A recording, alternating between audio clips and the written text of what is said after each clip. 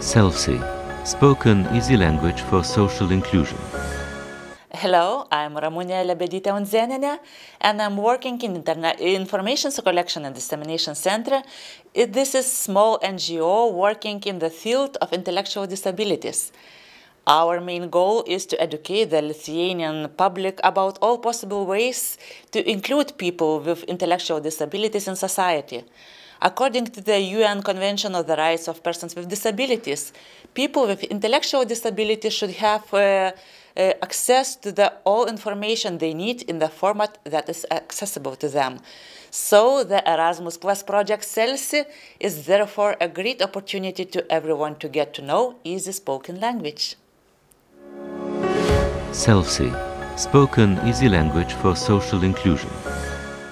Partners are Zavod Risa, RTV Slovenija, Dyslexieverbundet, Università degli Studi di Trieste, Vieglas Valodas Agentura, Vilniaus Universitetas, Vsi informacijos kaupimo ir sklaidos centras.